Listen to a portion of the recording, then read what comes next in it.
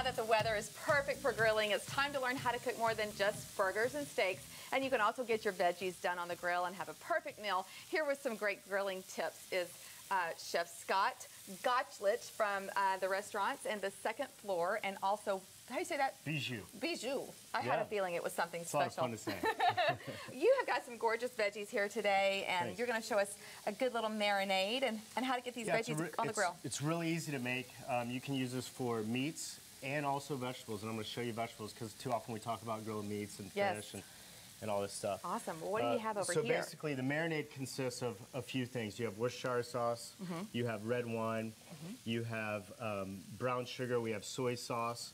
We also have some balsamic vinegar and some thyme and some oil. That's it. Nice. That's all that's going to go in the marinade. So if you want to, you Uh-huh. can take all of these Sure. And just pour it in here and mix Perfect. it up. All right. What I do, which is really easy to do, A little red. Can I do this? Yeah, pour it all in. Oh, every- red- a lot of red wine. All- Everything that's in these containers. Okay. Go ahead. So basically, we're taking um, these vegetables and I put them in a plastic bag. Mm -hmm.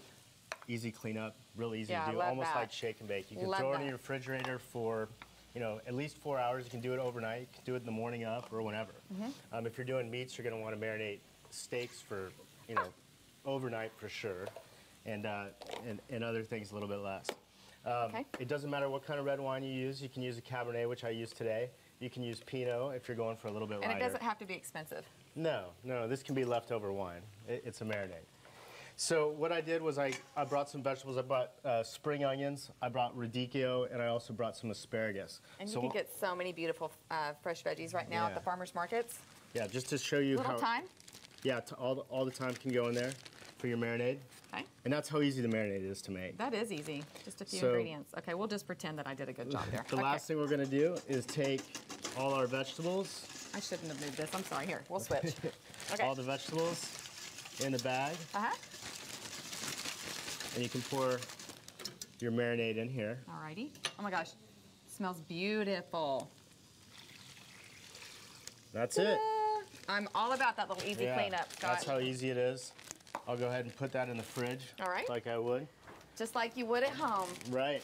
And you can see what it looks like Mm-hmm. after you've let it marinate for a period of time. Veggies just soak that Right. right, up, right? So we have the, the grilled vegetables going here, but I Mm-hmm. can show you what the um, the vegetables look like and taste like after they've been on the grill. And I just have to say, this is the greatest grill ever for indoor. That's pretty neat. It's yeah, so no, cool. This it- is a Cuisinart. And what I like about it is, I'm not selling this thing, but I just want one.